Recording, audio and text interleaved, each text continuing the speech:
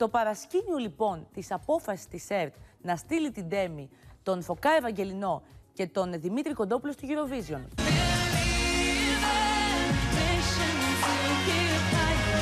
Το 2013 στα μουσικά βράδια MAD, η Ντέμι τραγούδισε μαζί με τον Τίμα Μπιλάν το τραγούδι του που χάρισε και τη νίκη στη Ρωσία στο διαγωνισμό της Eurovision.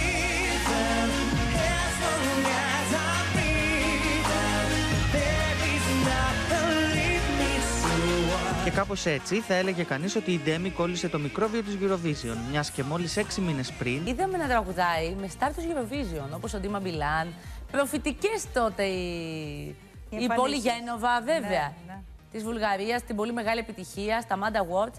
Έτσι δεν ήταν τυχαίο που σε Έτσι κάθε της εμφάνιση στα κόλλησε Manda μάλλον. έχει, έχει κάτι κάνει με Eurovision. Έτσι δεν είναι, Γρηγόρη; Σωστά. Και α, αν θυμάμαι και παλαιότερες συναντεύξεις, της είχε α, πάντοτε εκδηλώσει την επιθυμία να πάει στη Eurovision με ένα ωραίο τραγούδι. Ε. Τώρα της δίνονται τρία. Ωραία. Βρέθηκε μαζί με τον Φωκά για την Ουκρανία αλλά και τη Ρωσία.